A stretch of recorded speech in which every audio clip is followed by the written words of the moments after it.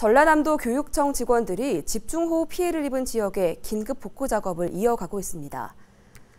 장서공 전남교육감과 교육청 직원 60여 명들은 구례군 토지면 피하골 일대 마을에서 수해 복구 작업을 진행했습니다.